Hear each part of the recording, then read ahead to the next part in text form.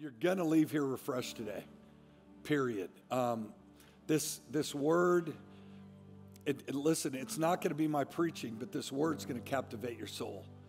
This word is going to uh, apprehend your soul, is, is what's going to happen. It's going to grab a hold of you. And how it works in our life is we have to lay hold of that which is laid hold of us. So when the word lays hold of us, we grab back. Does that make sense? We, I mean, you got to grab it. That's that's your job. That's what you're here to do. There's so much information of that's out there, but there's so much misinformation of God. There's so much misinformation of His kingdom, and it, it's all over the map. There's going to be a couple things that really bug me, that really annoy me, that I'm gonna I'm gonna punch right in the mouth today. And, and I, I, I, am telling you, there's things that have, have crept in. The one thing that Jesus hated was religion. And religion makes it about me and, and, and you listen to me and it's about me and what I think and what I believe and what my opinion is, and regardless of what God's word says. And, and most people believe God is able. But the issue that many have, the question people have, is he willing? And you know what's interesting is that we're not here wondering about God's ability. We're here wondering about God's will. That's what people people say. Well, I don't know what the will of God is in my life, or what what's the will of God. I'm gonna I'm, I've got to buy a house, but the interest rates are going up. What's God's will? And but, but so listen, God is able and God is willing. Understand that. God is never going to withhold any good thing from you. You should write that down.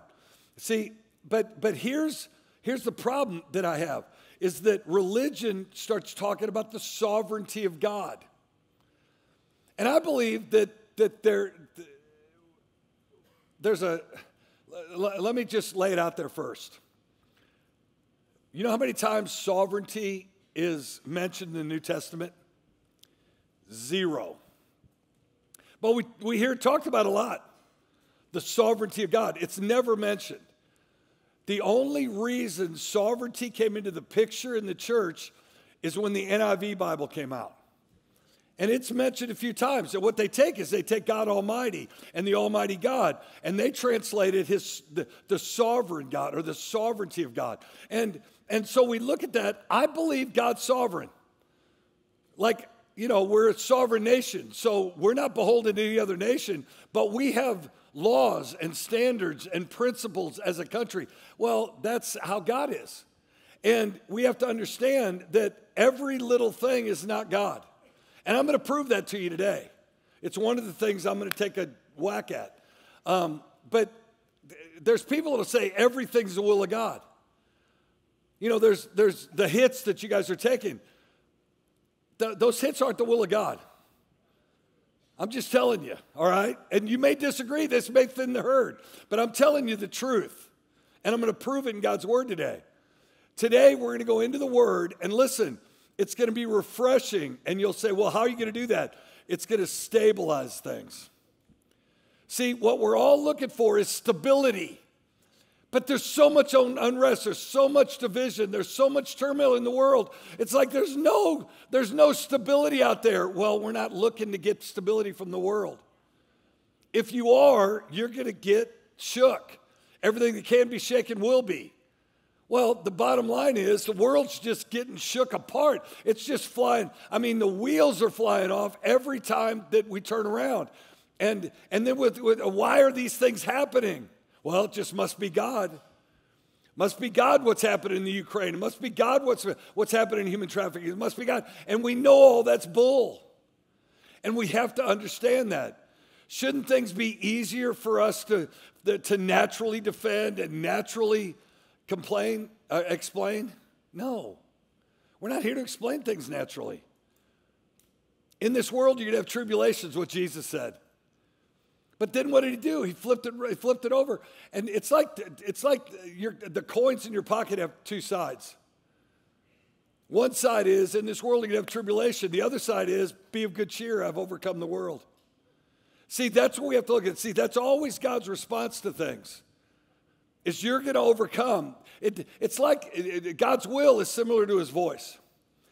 And see, we preachers use vernacular like, well, God told me, or God spoke to me, or God said. And then so it hence it's got people, people walk up and they'll say, wait a second, you heard God? It's like, well, yeah, was it audible? Well, how can it be audible when God's in me? So, no, it's not a natural hearing. And see, people aren't going to understand unless they're new creations in Christ. See, I get God's voice because I'm a new creature in Christ. Old things have passed away, behold, all things have become new. Well, the, the, the new thing now is I've got an inner voice on the inside of me. I have an almighty knower on the inside of me. And see, but everything's got to match up with God's word. See, and I'm not one of those people that say, well, you know, God can do anything. You've heard people say that. Well, God's almighty, can do anything. No, he, he can't do anything. He can't lie. He can't change. He can't prefer you over me. He's no respecter of persons. See, that doesn't limit him. That brings liberty to my life that I can trust God's word. Because God's word's never going to change. Everything in the world changes, which makes it a lie. See, the, the root definition of, of lie is something subject to change. So the facts of your life, the facts is that your, your, month's, your month's bigger than your money. The facts is that, man, you're, you're, you're going through a tough spell in your marriage. But let me tell you, facts change. The truth never does. So we find the truth, and that's where our stability is. You feeling me? That's where our refreshing is. See, lazy theology in this time it's, uh, see, here's the deal information today is like an avalanche. Like Google at some point today after the service, Google an avalanche and find a video of an avalanche. And then picture yourself walking into and under that avalanche. You would never do that. But see, that's what information is today with the media, with social media, with, with everything that's out there. And, and so, so much of what, what I feel like sometimes I have to do is counter the other information. It's like, no, I'm just going to present the truth. And then you know what? You choose which report you're going to believe. You choose whose report, report you're going to believe. See, I, I, and I'm going to prove it today in His Word. God has given us the kind of freedom where we have responsibility of our lives. Why do people do what they do? They want to. You know, people that'll say, well, I, I, I, did, I never wanted to do that. I, I just, it, I just got caught up in the moment, or, or man, it just, it was little by little. I just got, I, the trap got set. No, I get it, but at some point, it was a choice for you to take that route. And let me tell you something, and this is going to twist your ear a little bit. I believe God warns us every time. I'm telling you, if this direction is the wrong direction in my life, when my first step is going like this, I've got to check in my spirit. I know I'm going the wrong direction, but guess what? It's not that big a deal. Oh, look, I'm fine. And then one day you wake up and you're like, how'd this happen? How'd I get here? You know what we're doing is we're blowing through not yellow lights, but red lights. And let me tell you, you're going to be able to get by with blowing through red lights until you don't. And see what God wants to do is He wants to make it comfortable for you to blow through, blow through red lights. And man, I'm bulletproof, and we're not. See, so what, what God will do, God will always, listen to me, He will always give you a red light. But then you got to choose whether you're going to obey that red light or not. See, there's three things that we have to have as believers we have to have obedience, we have to have, have, have submission, and we have to make a sacrifice. Now, listen, all of those are impossible. It's impossible for me to be obedient. It's impossible for me to be submissive. It's impossible for me to always have to be sacrificial in my living. That's impossible. That's why God put His Spirit in us, so that it's not. See, in James 4 7, the Bible, James writes and says, Therefore, submit to God, resist the devil, and he'll flee from you. So, so here's what we look at. We submit to God. The word submit is, is that we relinquish our rights. You have the right to do whatever you want. You have the right to do wrong things that you know are wrong, but they're legal. Paul said there's things that are lawful but not expedient. There's things that we can do and it's lawful, but it's gonna, it's gonna end up killing us. It's gonna end up robbing our lives. And when I say killing us, it may not be a natural death, but it's gonna, it's gonna, they're, they're, they're, let me tell you, you could kill your marriage. People are doing it every day. You could kill your children's future. People are doing it every day. Your career, your future. But see, you know what? God gives life to the dead. So what we've got to do is we've got to follow after him to have that kind of life. See, this the kingdom is God's way of doing things. This is his house. We're going to do it his way. Man, we're to we're to honor people here. We're to love people. We're not to judge anybody. We're not to condemn anybody. We're to forgive everybody. And you know what else we're to do? We're to give. And then what does the Bible say? God will give back to us good measure, pressed down, shaken together, and running over that men will give to our bosom, that, that, that your life will be full of God's favor. How do you have that life of favor? You don't judge, you don't condemn, you forgive, and you give. Well, and why is it all about money? What about the judging and condemning part? Well, you know, you preach preachers all about money. Well, okay, let's make it about money. The measure you give is the measure you receive. So the way you give is how you're going to live. I can play both sides. I can play the game, whatever game. Why? And I'll tell you why. Because the Word of God is the truth. And it pierces. It pierces our soul, separates our soul and our spirit, our bone and our marrow, and is the discerner of the thoughts and intents of our heart. So here's what James said Submit to what is God. Now, I don't have to go to church. Really? Let's rejoice when we go to his house. Let's not forsake the, the assembling of ourselves together. Well, you know, that, that meant this. Would you stop that stuff? Submit to what's God. Resist what the devil tempts us to receive. Here, can I can, can you can I use your pen? Good, good throw. Anybody else got a get a pen? You got here. Can I can I borrow your pen? You guys are the worst. Can, can, can, can, I? No, no, stop. I, That's me resisting the pen. So you're like, oh my gosh, the devil again. He does, he's not coming in this red, a red suit with a spiky tail and horns and a pitchfork. He's coming as comfort. He's coming as ease. He's coming with shiny stuff or pretty things. We have to resist it. How do we re- resist it? Just the way I did. And you know what? When, when that happens, he's got to flee. He doesn't just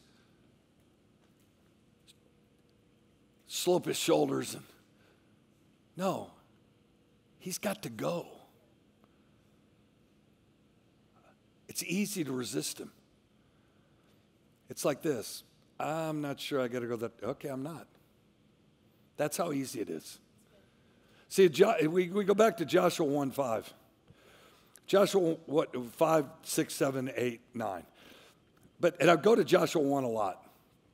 So, so Joshua 1 5 says, No man shall be able to stand before you all the days of your life. Stop right there.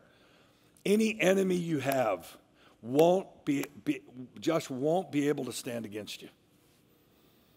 Any enemy you have. Alcoholism won't be able to stand against you. Drug abuse, pornography, rage, debt, poverty, any kind of illness, any kind of sickness won't be able to stand against you all the days of your life. As I was with Moses, so will I be with you. I will not leave you nor forsake you. And let me tell you something our God's a jealous God, our, the vengeance is His. He's got an indignation. Anybody that messes with you has to mess with him. Be strong and of good courage, for to this people you will divide as an inheritance the land which I swore to their fathers to give them. Listen to verse 7. Only be strong and very courageous, that you may observe to do all according to the law which Moses my servant commanded you. Don't turn from it to the right or to the left, so that you may prosper wherever you go. Verse 8.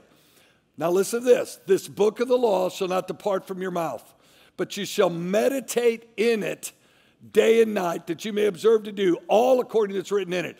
For then you'll make your way prosperous, and then you'll have success. One condition on success and prosperity in your life is that you meditate in God's word day and night.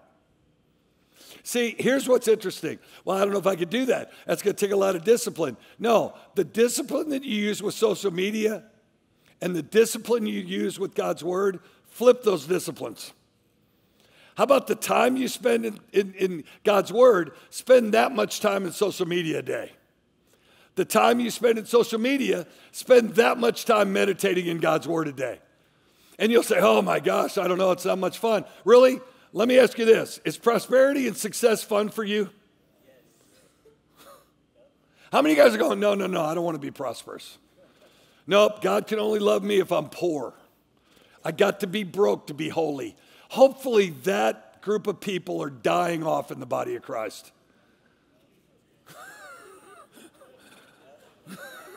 I think I just said that. It's so stupid. It's like, oh, no, no. No, I got to be poor. really? Poor people have influence because rich, evil people use them to keep their in influence. I'm just telling you how the world turns. Two things to focus on here are number one, you shall meditate in God's word day and night.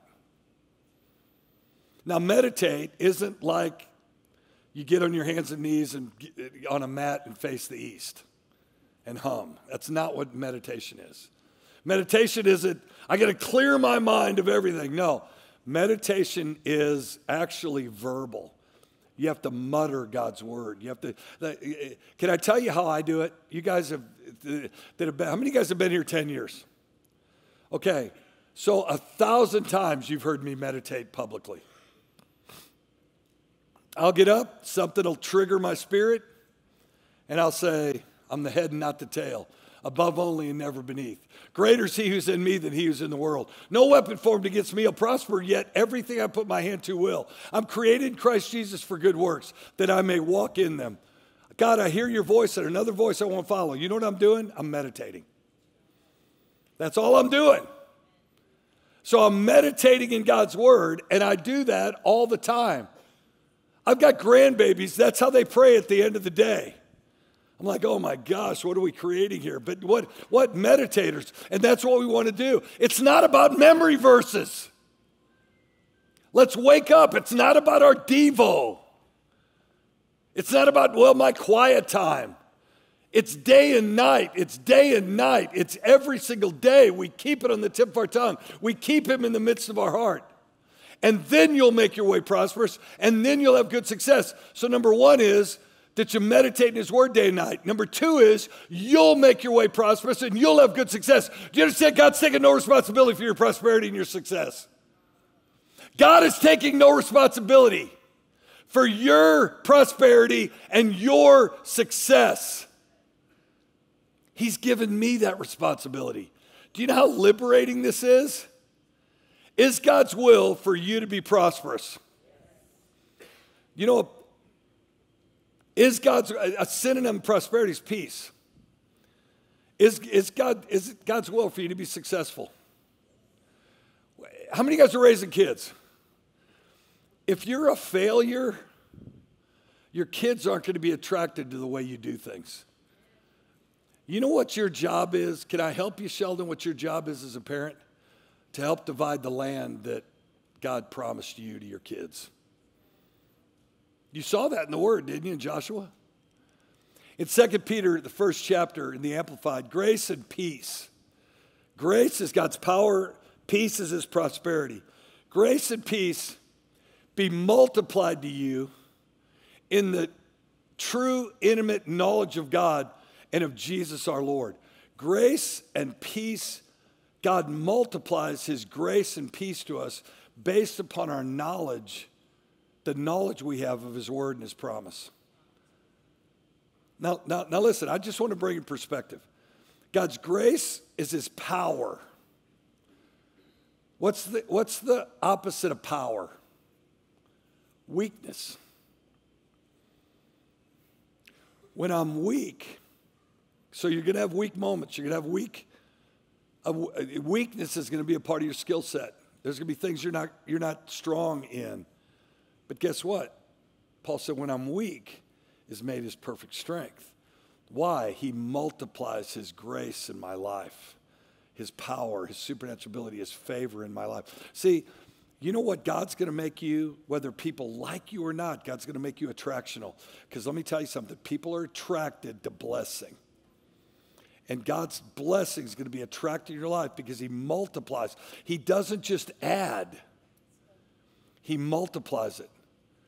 And, and you'll say, well, by what? The Bible says some 30, some 60. So it doesn't start at doubling, it doesn't start at times three or times 10. It says some 30, some 60, some 100 fold. It's like, oh, wait a minute. So my $100 just turned into $10,000. My $10,000 then turns into a million dollars. My million dollars turns into a hundred million dollars. My hundred million dollars turns into, yes. That's how God multiplies into our life. And yeah, you know what? I just use money to get your attention. What if that's your health? What if the health you're in right now gets turned into a hundred times that health? And then what if, when, you, when you're a hundred times healthier than you are right now, what if it turns into a hundred times more health from there? Do you understand what I'm saying? God multiplies this. For his divine power has bestowed to us everything necessary for life and godliness, that God gives us everything we need for life and godliness through true and personal knowledge of Him who called us by His own glory and excellence. That we've got to know, it starts with us knowing personal knowledge of God's nature, opens our lives to everything pertaining life, His life in us, and our lives being godly. This is, this, this is so easy. It's so, the equation's so simple. God gives us what we need for everything pertaining life and godliness. For by these he has bestowed on us his precious and magnificent promises, so that by them you may escape from the immoral freedom that's in the world because of, of disreputable desire and become sharers of his divine nature. Why does the world do what they, what, what, it, what they do. Why do people do what they do? Because they have immoral freedoms. See, God gives us freedom. We can use it morally or we can use it immorally. And God gets blamed for all of it. You know what? Your choice is not the sovereign will of God. How do you get to heaven? It's a choice. Well, do you believe it's forever? Sure, until you make a choice not to. You could, you could make a choice to deny Jesus as Lord of your life. In Galatians 5 6, it says, For in Christ Jesus, neither circumcision nor uncircumcision avails anything, but faith working through love. This is key. This is the central point of this message. Is our faith works through love. Our faith works because God loves us. So, my responsibility is to trust God. Why? He loves me. How can you trust God? Because He loves me. He's, he, he wants so much more for me than my earthly father ever could have wanted. God's provision to heal, to provide, to protect, to t- transform our lives all work in us because God loves us. So that's how we raise our children. God loves me, so I'm going to raise my kids in that love. We're going to get through this because God loves me. Man, I'm going to overcome because, oh, yeah, God loves me. See, you know, so much so that the word says that I'm the apple of his eye.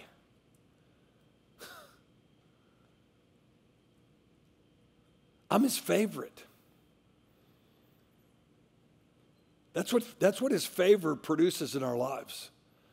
His favor produces, he treats us, he loves us as his favorite. He gave his son. Jesus was at God status and came as a man on this earth because God loves us so much. For God so loved the world that he gave his only begotten Son, that whomever believes in him, it's awesome.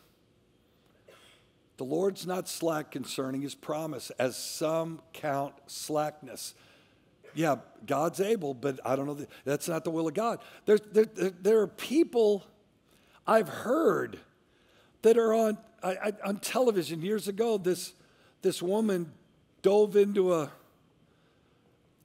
pond that had a sign, no diving, and broke her neck and is a quadriplegic. And now her testimony is that God allowed it and orchestrated it so that she could have a platform to preach. And I'm, I'm screaming at the television. That's not God. God didn't do that. The sign said, don't jump, don't dive. You dove. That's why it happened. The Lord's not slack concerning his promise. The Lord's not slack. Has God promised health in your life? He's not slack. It's going to overwhelm you when you realize all I've got to do is trust his word. But his long suffering toward us, not willing that any should perish, but that all should come. Man, I listened to, okay, I'll just tell you, a Calvinist who said, It's God's will that some go to heaven and some go to hell. That's not what Peter was inspired by the Holy Spirit to write. He was inspired to write that none should perish as God's will, that none should perish as God's heart, but that all should come to repentance. Do they all know? Jesus said, No. There's many that'll take the wide well traveled path to damnation, but it's their choice. God didn't choose that. You guys feeling me? See, your future is in your hands. See, Jesus said, My peace I give you, my peace I leave with you, not as the world gives. The only condition on the peace of God, the pros- prosperity of God in your life, the only condition is you trust God. Oh my gosh, it's so hard. Man, everything seems like it's failing. Everything's corrupt. Who do I trust? You trust God. Man, how can I trust God? Because He loves you. And here's the deal there's one unconditional thing on this planet, everything else bears conditions. Like you might say, Well, I love you unconditionally. It's like, No, you don't. The only unconditional thing on this planet is God's love. So that's what operates in me. That's why I can trust God, because God loves me. That's why I can do all things through Christ who strengthens me, because God loves me. That's why everything I put my hand to prospers, because God loves me. What do you what do you act like you're God's favorite? Oh, I know. That's how I choose to act. I do. I choose to act like there isn't anybody else. But if you were the only, dear God, if you were the only person on the earth, God would have gave his son. I know. I'm his favorite. God gave his son Jesus for me personally. You guys just reap the benefit because you get to live here uh, on this earth. You get to breathe the air that I'm breathing. But God would have done it if it's just me. So now what happens? I can run through a troop and leap over a wall. No weapon formed against me will prosper. Oh, we don't want to. We don't want to shake the. devil. we don't want to wake the devil up. We don't want to wake. The, we don't want to make the devil mad. Really?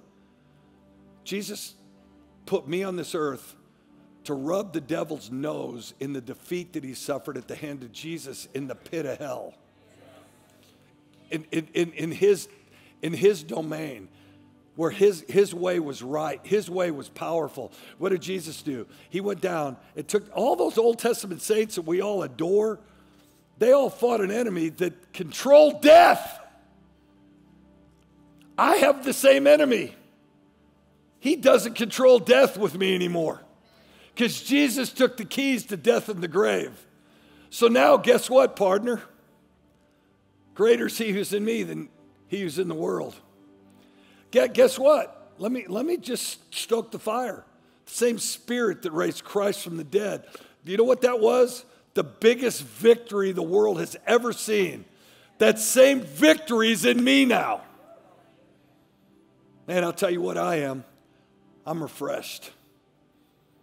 I'm going to pray for people that need to get their lives right with God. I'm going to pray for people that need to make Jesus Lord of their life.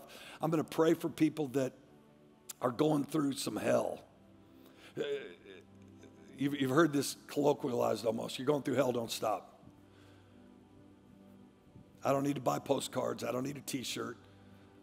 Hell is not going to last in my life. I have got a destiny on my life, and guess what it is? It's God's way of doing things, it's God's kingdom, it's heaven. Remember, our, he, Jesus said, they, they, said, Jesus, we teach us to pray? Sure, I'll, I'll teach you to pray. Our Father who's in heaven, hallowed be your name. You're amazing. Your kingdom's come. It's not a request, it's a statement. Your will is done. It's a statement. On earth as it is in heaven. Let's go. Come on. What are you doing? I'm just attracting heaven into my life. See, I'm speaking this, I'm muttering this, I'm meditating upon this day and night. But what are we doing? We're flipping, we're flipping through the, the, the, the TikTok. We're, we're flipping through the algorithms. You know what's amazing? Is I've watched a few preachers on the YouTube, friends of mine. Now I got all kinds of preachers on my YouTube. I don't have any haters of God on my YouTube. I don't. So there must not be any. There's only people like me out there. Isn't that amazing? That's a coincidence that's beyond coincidence. No, it's a freaking algorithm that's luring me into a trap. Guess what I feel? A red light. Guess what I'm going to do? Stop, resist, flee. You hear me? Stop, resist, he's got to flee. That's my enemy. So let's get your life right with God. Let's make Jesus Lord of your life. Bible says you believe in your heart, you confess with your mouth, and then let's hit back. Do you mind hitting, hitting back today? Let's, let's leave a mark on the devil today. And you'll go, Well, I don't want to make him mad. Jesus made him mad. He's just mad because you made Jesus Lord of your life. So the only reason he wouldn't be mad at you is if you're going to hell. So if you're if you're in here and you go, I'd rather I'd rather just make a decision to deny Jesus and go to hell so I don't make the devil mad. Let me tell you how much I care about the devil being mad. I care about the devil being mad as, as, as much as how many times sovereignty is in, is in the New Testament. Zero. The sovereign will of God is for me to be transformed in the image of His Son. I'm transformed in His Son by meditating in His Word day and night. Do you guys know where I stand now? Is there any questions? Are there any questions? Let's all pray together. Father God, I give you my life. Jesus Christ. I said, Jesus Christ. Devil, I want you to hear it come out of my mouth. Jesus Christ is Lord of my life. I hope that upsets you because it's going to be every day, every step, every breath of my life is going to honor God with Jesus as Lord of my life.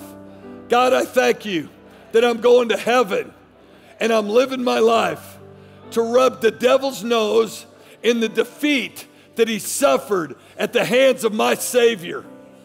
God, I thank you, the greater is he who's in me than he who's in the world. And God, I thank you today that I'm created for good works. I'm going to walk in them. The same spirit that raised Christ from the dead lives in me. God, you're amazing. God, thank you for loving me. And I'm loving you back with all of my heart, my soul, my mind, and my strength. I'm refreshed, God. So I'm going to act like it. In Jesus' name, amen. Thank you so much for tuning in to Guts Church YouTube channel. I'm Pastor Chano Trevino, the assistant pastor here at Guts Church. And on behalf of our leadership team, our staff, our church, it's our hope that this message met you right where you are. If it did, I bet there's someone you know who could use the encouragement of this message in their life. And you sharing it with them can make all the difference. The mission of Guts Church is to help people win. And you can be a part of that simply by sharing, or better yet, inviting someone to tune into Guts Church online with you every week. Take that next step to be a part of what God is doing right now in this moment in time by being committed to showing up, placing a premium on God's word, and receiving all that God has for you. You can share this message, gather your friends for services, make it a priority to make this the place you want to be. God has so much for you. I truly believe that. We love you. We're praying for you. Can't wait to see you soon.